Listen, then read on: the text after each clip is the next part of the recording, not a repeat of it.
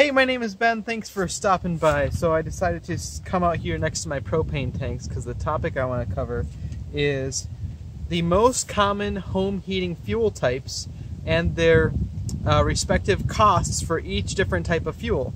So there are a kind of a big gamut of different options you can choose from. Uh, the most common being natural gas, propane, electric, fuel oil, wood, and then maybe coal, but those are really the main five, I would say.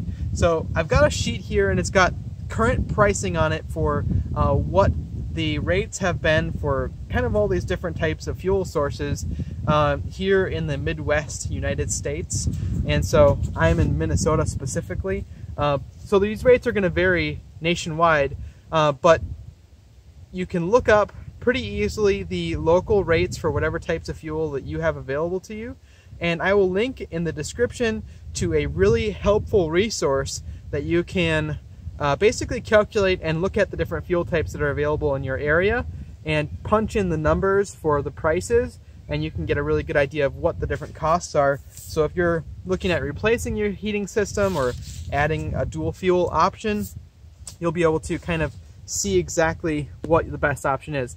So let's go ahead and I'll break down the sheet for you and show you a close up here so you can see exactly what I'm talking about. All right, here it is.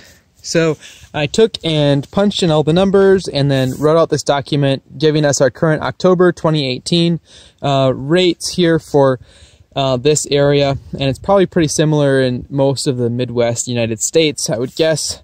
Uh, so here we go. Natural gas at the top here. Uh, natural gas has been very inexpensive re in recent years, and it is pretty much unbeatable, period, as far as its cost compared to other types of fuels.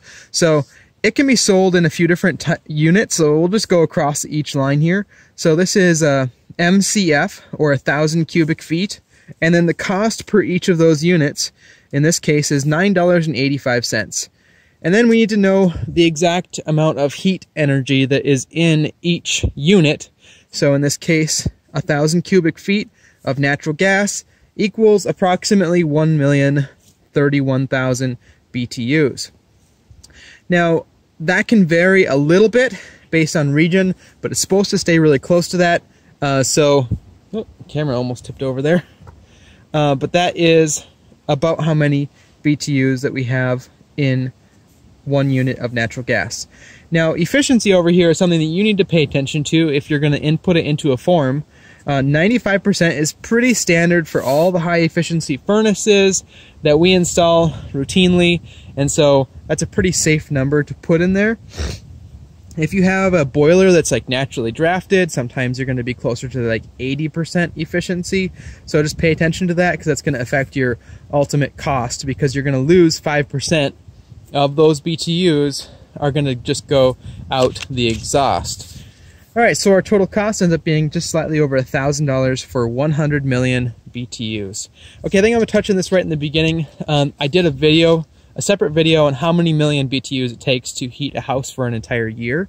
Uh, I'll link to that in the description as well. But I also notated it down here. So um, our 1,500 square foot house here in southwest Minnesota used exactly 563 gallons of propane in one year, including the gas range, and this comes to 51.457 million BTUs. So 50 million BTUs heated our little house here.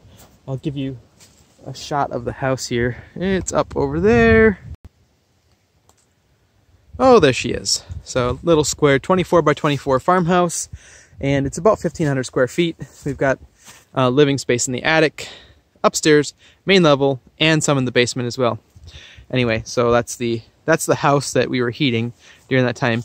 And the gas range in the kitchen used probably very little as far as uh, how much fuel that that contributed to that usage. So I thought that that 50 million BTU thing was just kind of a helpful guide to knowing and giving a little bit more meaning to that 100 million BTU uh, number there. So 100 million BTUs will heat our house for almost two years. So if your house is bigger or you live in a colder climate or warmer climate, you're going to use less or more. So it's going to vary, obviously. now, uh, when you look at your natural gas bill, uh, most likely there's going to be um, discrepancies in which unit it's billed out as. Um, so it can either be billed out as MCF uh, or CCF uh, or per therm. And so one therm is 1 million BTUs. So that's really easy to figure out. So if it is $1,000 for 100 million, then it's going to be, um, what is that? Yeah, it's a it's a dollar per something. anyway, it's pretty easy to do the conversions on it, and so you can follow that up some more if you if you have different units, you can convert them fairly easily. Okay, we're going to move on. Propane is the next one here, and it's just very similar to natural gas, except for it's in these big tanks like we have here. And uh, that right now in our area is $1.44 a gallon uh, or so, and we have 91,333 BTUs per unit, 95% efficiency. Uh, so it's the same like a gas furnace. Um, that comes to 1,660 or so. So that's also not too bad. Now, this price per gallon can vary a lot. Uh, nationwide, I think right now it's closer to $2 average. Um, and then, like in Alaska, I was just talking to my brother in law, their price for propane is $4 a gallon. So that's why this cost per unit is very important to be aware of. Okay, electric resistance. So 12 cents per kilowatt. Each kilowatt hour, kilowatt hour, uh, contains 3,412 BTUs of potential heat. And so that comes out at 100% efficient because it's electric resistance heat. So you're talking about like baseboard heaters or an electric heater that you plug into the wall. Those are all going to be 100% efficient uh, at using the electricity or turning it into heat. Uh, of course, the electricity is like 30% efficient in reality because they have to burn the coal that they burn ends up being I think it's 30% of the energy used from coal ends up uh, in usable electricity. But anyway, that is extremely costly at nearly, well, a little over $3,500 per million btu So if you have electric resistance heat right now and you are thinking about doing something different, and you have natural gas or propane available, it would be very, very smart to pursue one of those. Okay, so moving on, electric geothermal or heat pump. So this is like uh, an air source heat pump, looks like an air conditioner, but it can reverse in the wintertime and basically pump heat in instead of pumping heat out, which is what an air conditioner does those can run at up to 300% efficient. Now I actually changed the default number up to 300% just to make this number look a little bit better because that is what sometimes is marketed. But 250%, 2 to 300% is probably more realistic. So we're putting in our cost per unit still 12 cents. That's how many BTUs. But since it's 250 or 300%, we end up getting a lot more uh, BTUs back than this because we're not really creating heat with a heat pump. We're moving heat. We're either moving heat from out the outside air into the house is basically the concept, or from in the ground into the house using a refrigerant cycle. So $1,172. So I actually have an air source heat pump at my place, uh, but we haven't been using it because propane last year was like 90 cents. So it was actually cheaper to burn propane than it was to run our uh, geothermal, or not geothermal, sorry, uh, my air source heat pump. Uh, and I'll I'll walk over there at the end of this video and show you it a little bit more. Uh, but I don't really want to wear that thing out uh, just to get the same price. You're, if you have a similar cost to run a, a air source heat pump or natural gas or propane, I always burn propane or natural gas because that's not your furnace really isn't going to wear out in the same way that a compressor inside of an, a heat pump will. So, okay, we'll move on and I'll come back to that later. Okay, fuel oil, number two. So this is basically like diesel fuel, kind of. That's At least that's what I've been told. Uh, we work on fuel oil furnaces sometimes. I don't know how different it is from actual diesel, but smells the same. 254 is the average price nationwide right now, and 138,690 BTUs uh, per gallon. 80% efficient, is what this is calculated at. A lot of times these are boilers, but you can get higher efficiency than that depending on. But still, we're looking at a pretty steep price, 2289 And if that price continues to go back up, like oil prices have been, uh, that could get pretty costly. So in our area, uh, fuel oil is really not a good option because propane and natural gas pretty much dominate. Uh, but in Alaska, uh, I was talking to my brother-in-law, uh, fuel oil is quite a bit cheaper than propane, and so they have a lot of fuel oil furnaces consequently. okay, down to wood. Now, if you have a free wood source and lots of time that that uh, you can work on burning wood, obviously that's going to be your cheapest option. Kind of interesting, a uh, 8 by 4 by 4 block, which is a full cord of wood, contains about 22 million BTUs. That's right, 22 million. So that's pretty amazing. Uh, different types of wood, if it's hardwood or softer wood, uh, those are going to have different BTU contents. So you have to pay attention to that a little bit. 70% efficient because wood burning stoves are usually not super efficient. And then that comes out to be that price if you paid money for your wood at $250 a cord, $1,623. And coal, I put on here just for fun.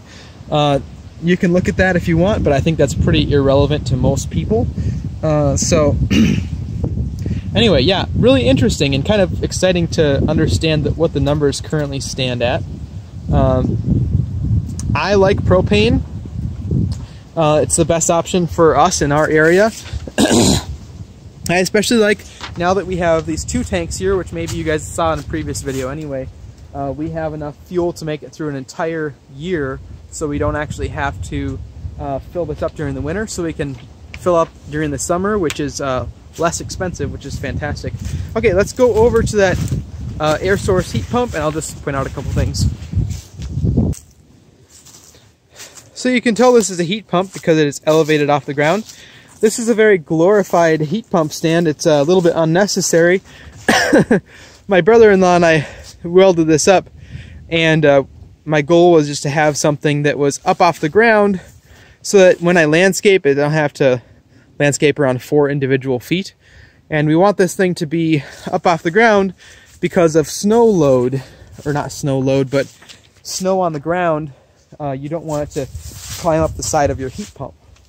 So the only difference between a heat pump and an air conditioner is that there is a reversing valve in it. There's different electronic controls that make it work. Uh, but basically, there's a valve in there that switches over that pumps refrigerant in the opposite direction in order to um, produce heat in the house or basically extract heat from outside and move it to the inside. So let me just say if I can take a peek down on the top of this thing for you. So right here on the top, we look down in here and there's a lot more going on than there would be if this was an air conditioner. You can see right there, I'll try to zoom in on it. There's a little electronic solenoid that is in charge of uh, moving the, there's like a piston thing that switches between the flow of refrigerant back and forth. So your heat pump is obviously responsible for also doing your air conditioning and that's why uh, if the prices are similar, like I was saying a few minutes ago, uh, I'd highly recommend burning gas or burning uh, propane uh, rather than running your heat pump. So, because your heat pump is utilizing 30% efficient coal anyway, which is electricity. Um, so, yeah, uh, we like to see at least 20 years of longevity out of a air conditioning compressor. But what I've seen is that in heat pump applications, usually you get you get less. You obviously get less life out of a heat pump compressor because it's running all summer and all winter. So yeah, I wouldn't really and also your efficiency drops on air air source heat pumps. So once the temperature gets down to 20 degrees or lower, your efficiency drops way off down to where you're getting you know 150% and then you're really not making money at all so overall not a super fan of heat pumps at the moment but technology little by little changes and gets better sometimes but so yeah that's the air source heat pump Now, a geothermal heat pump is a little bit better in that it gets a really consistent uh, temperature coming from the ground. If there's a loop field, that loop field does drop in temperature over the winter, uh, but it generally does a better job. You know, if it's 20 below zero outside, this heat pump won't work here in Minnesota. It just won't work, period. So you have to have alternative uh, fuel to heat your house. But if you're further down south and you only have a couple weeks or a couple months out of the winter that are cold enough where you really need heat, then a heat pump like this might be a pretty good option. So a lot of this is very subject to your area and what is best in your situation. Holy cow, this video is already almost 16 minutes long, so thank you if you are still here. I appreciate it a lot. Uh, but otherwise, this is just kind of for fun anyway. So a couple of the thoughts that I have with the different fuel types here are more of my prepper tendency coming out. So I'm one of those people that likes to be semi-prepared for outages and uh, to keep in mind on the if you're thinking about buying a heating system and you also have that same uh, disease then uh, natural gas uh, is based on a pipeline system. That is very interruptible depending on it's been very consistent but in cases of natural disaster i don't know how that would hold up or how long how long you might be out of heat. Same thing holds true for electric. Those things are very subject to the grid and all of that.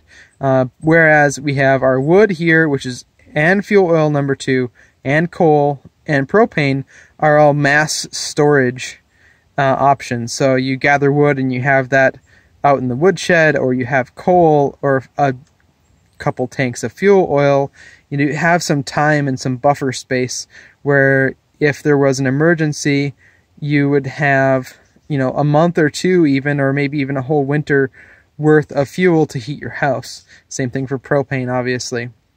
So that's something to consider potentially, but not something to worry about, I wouldn't say. Uh, but yeah, so I think that's pretty much it. I think we beat this subject absolutely to death. Uh, I think I'll try to do this maybe every year and do an update on what the most cost efficient options are. So right now it's natural gas, propane, and I think that's those are pretty much my two favorites for sure. And then possibly fuel oil depending on if you live in Alaska or not. So or if you like to chop wood and you can get free wood from somewhere, do that. So all right, I think that's all for now. Uh, thank you so much for watching this video. If you made it this far, I really appreciate it. Hit that thumbs up button if this was helpful, and uh, hit that subscribe button down below and the bell icon to be notified about future videos. All right, we'll talk to you guys later. See ya.